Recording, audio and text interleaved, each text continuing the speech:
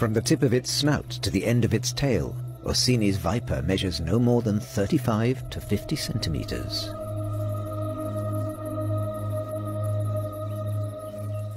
It's never found in the forest, specializing in open water meadows and grassy steppes.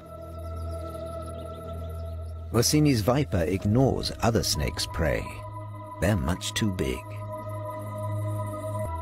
It hunts insects like crickets and grasshoppers.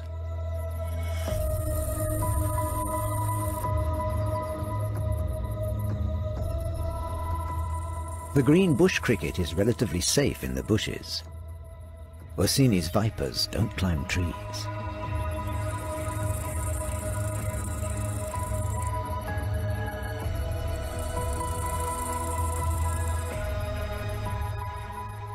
The wartbiter, however, is definitely within range.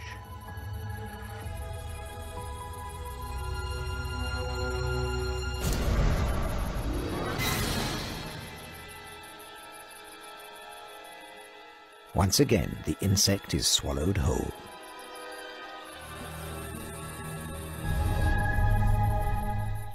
Sadly, Orsini's vipers have disappeared almost everywhere in Europe. The result of persecution and habitat loss.